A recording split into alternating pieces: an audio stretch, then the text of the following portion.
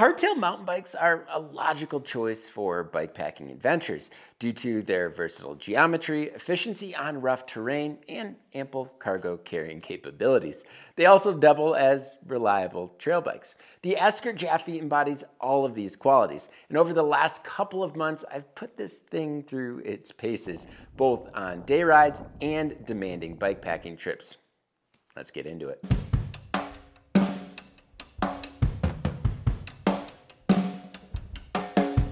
Before we dive into the review, I just want to share that this video is supported in part by Teravail tires.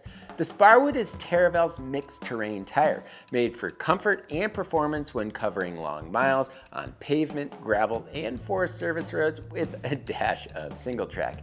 The tubeless ready Sparwood comes in a few different sizes and variations, my favorite being that 29 by 2.2 inch durable casing version.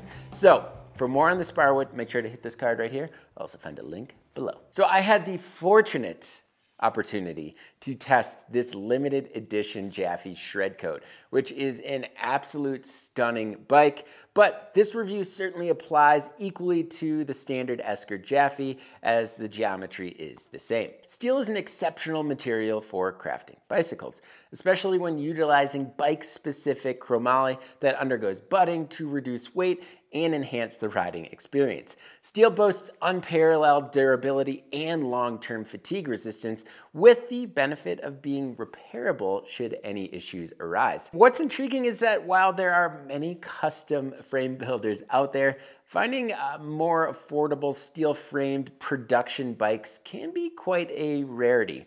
Esker, however, stands out with two notable options, the Hayduke and the Japhy. These two bikes have some similarities, such as the consistent reach across all frame sizes, a size-specific quad-butted 4130 chromoly tube set, boost spacing, and being designed around a 120 millimeter fork. That said, they're different in their intended purposes. The Hayduke is a trusted choice with a versatile geometry featuring ample mounting points for bikepacking gear. On the other hand, Japhy leans more towards trail riding, offering greater degree of playfulness, particularly when navigating single track.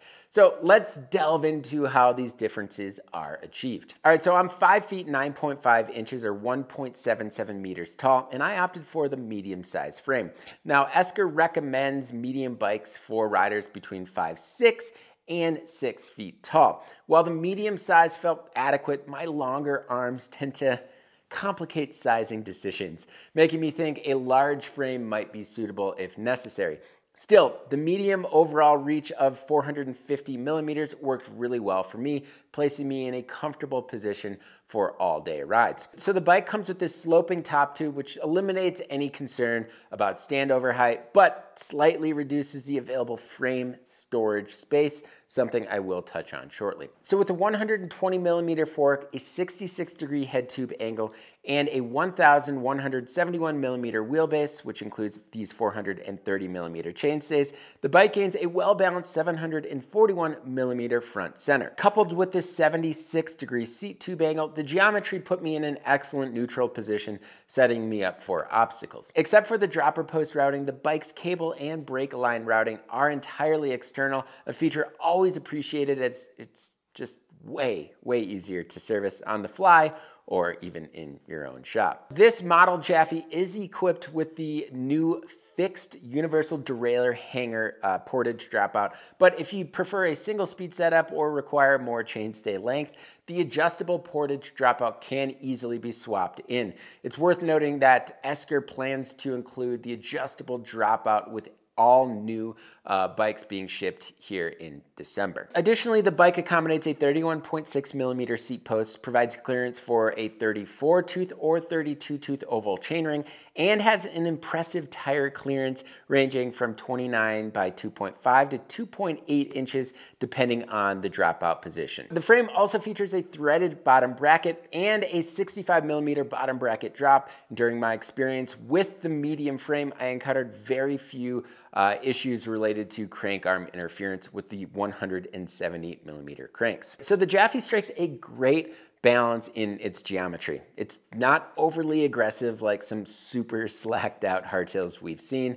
And while even my preferences find me drooling over those bikes, I'm delighted the Japhy found a spot in my garage this year. After spending several hundred miles pedaling this bike, it became clear that the Japhy excels in multiple aspects. It's exhibited stability while tracking slow climbs on rough moto trails full of loose rocks, roots, and tight turns. The bike allowed me to kind of settle into a 20 minute climb without really worrying about my body position, a feat that's not always easily accomplished with a longer, more slacked out bike. The Japhy also displayed impressive acceleration, particularly when I needed to kind of pick up speed for a challenging section of trail or when the urge to push the pace struck me.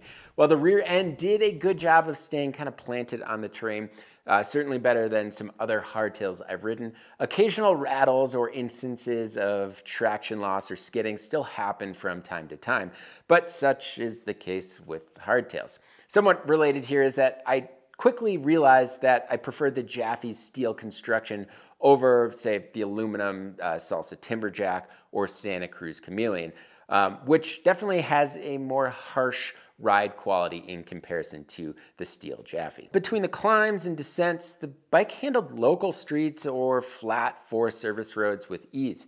It's certainly not the fastest or snappiest bike out there, but when I put down some power, the bike did a pretty good job of transferring those watts. So as the trail kind of trended downhill, the Japhy demonstrated really good stability while maintaining a, I would say, respectable level of maneuverability. So when I pointed my front end from side to side to say avoid an obstacle, the steering would quickly yet still gracefully find uh, my desired destination. Smooth to moderately smooth single track posed no challenges for this bike. It remained compliant, comfortable, and predictable. However, when I encountered steep and rocky terrain littered with baby head size rocks, I had to certainly exercise a little bit more caution. Riding hardtails is inherently different from riding a full suspension bike. And I noticed this fact was all too clear when I pushed the Japhy on terrain where I typically ride aggressively on my full suspension trail bike. Once I adjusted my approach and rode within its capabilities, it became enjoyable and no longer felt like a chore.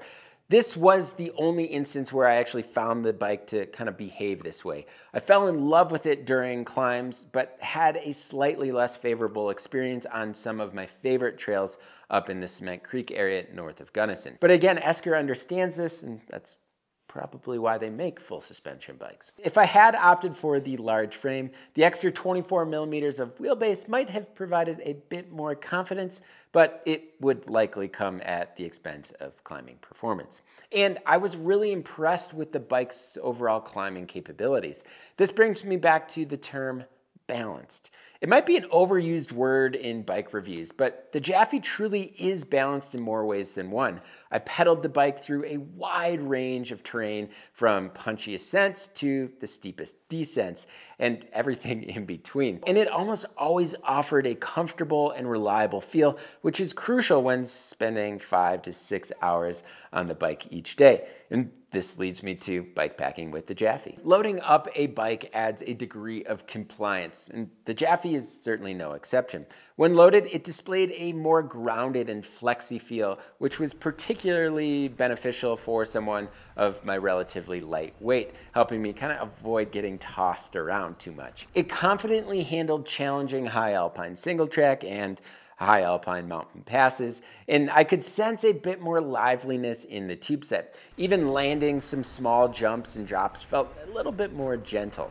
As previously mentioned, the frame space, while not the largest, still provides ample storage for a significant amount of gear. I even had an older Oveja Negra frame bag from a Proudfoot bike fit the Japhy, which was perfect. I made the most of the sloping top tube space uh, by adding a bottle on the top of the top tube, which definitely gave me more available storage. Speaking of storage, there are plenty of braze-ons on the frame, including two underneath the top tube for repair kits, two spots within the frame for bottles, and a set of three pack mounts on the underneath side of the down tube.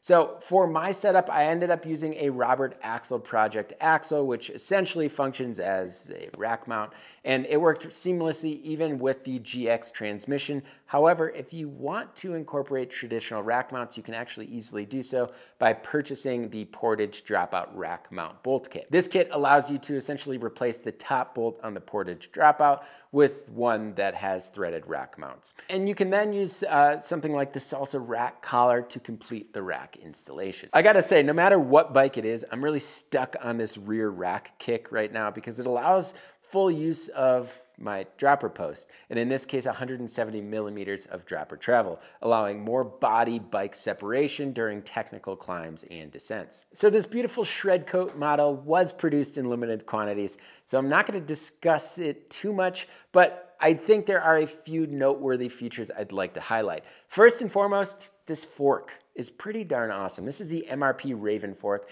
which I hadn't previously used. It's a unique design featuring a negative and positive air chamber. This configuration notably enhanced that small bump sensitivity, so when I was going over washboards at relatively high speeds, it handled it really, really well and it was really comfortable. So the GX transmission on this bike left something to be desired. So despite setting it up correctly, I encountered an occasional odd hesitation, I guess, in shifting.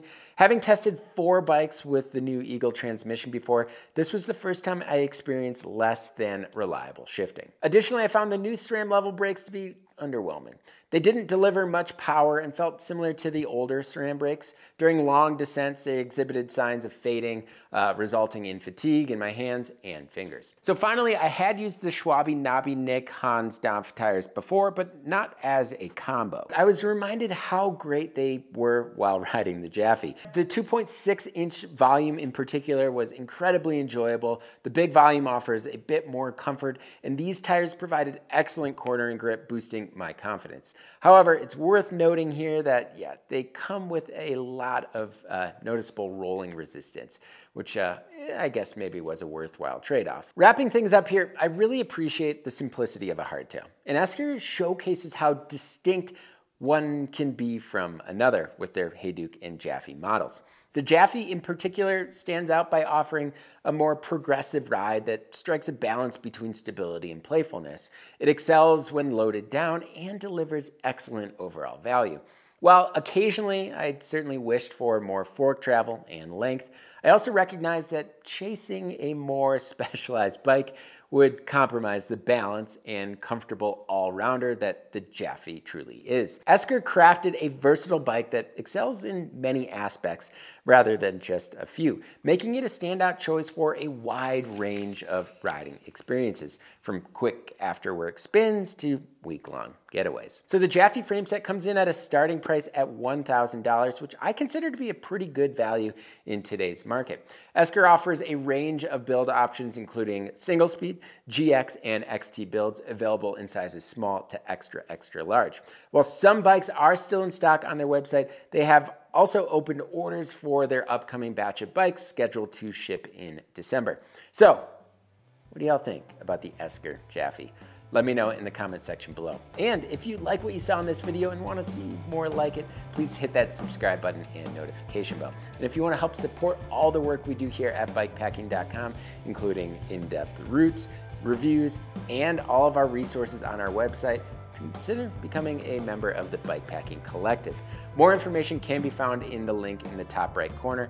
As always, thank you all so much for watching, and until next time, pedal further.